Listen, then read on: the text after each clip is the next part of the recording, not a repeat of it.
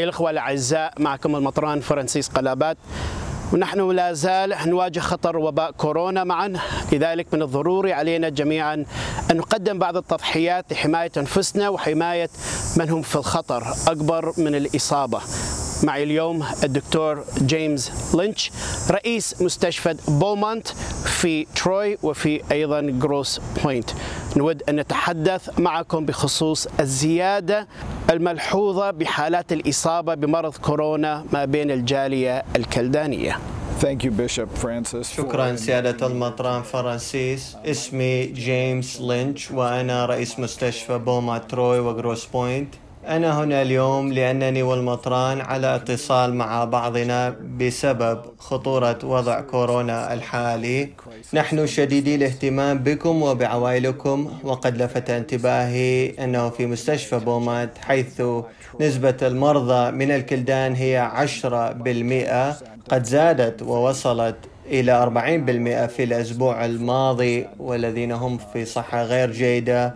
في أحد الأيام ذلك الأسبوع ثمانية من أصل عشرة في العناية المركزة كانوا كلدان. أنا هنا اليوم لأخبركم عن بعض الأمور البسيطة لتغيير الوضع الراهن. البس كمامة الوجه في الداخل والخارج. مارس قانون التباعد الاجتماعي لمسافة ستة أقدام. اغسل يديك دائما. تجنب التجمعات الكبيرة إلا إذا كان أمرا ضروريا جدا.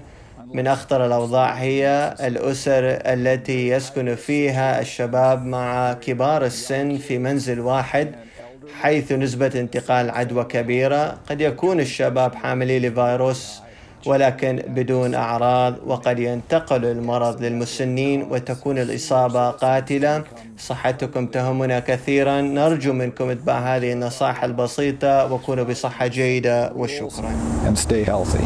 Thank you Dr. James الأخوة الأعزاء إنه من الجيد أنه نرجع إلى فعالياتنا اليومية كذهاب إلى العمل والكنيسة وغيرها ولكن في نفس الوقت من الواجب علينا الحد من حضور التجمعات الكبيرة مثل التعازي والحفلات الأعراس والتناول والتخرج.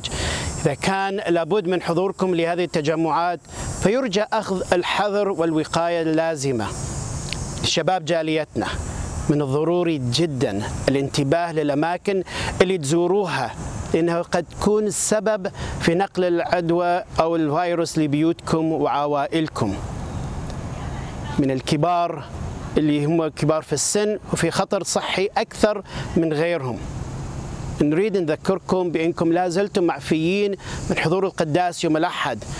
ولكن إذا كنتم ممن لا يحضر القداس يوم الأحد فيرجى الأخذ بنظر الاعتبار عدم حضور مراسيم الجناز أو البراخ أيضا.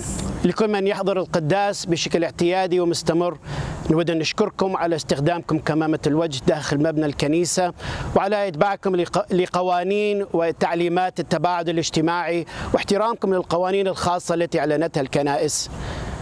ختاما نتذكر ونصلي لأجل من رحل عنا بسبب هذا المرض ولأجل كل من يعاني منه حاليا نأمل أن يكون بإمكاننا سوية أن نقلل من انتشار هذا الفيروس لحماية أنفسنا وحماية من نحب وذلك عن طريق القليل من التضحية والصبر.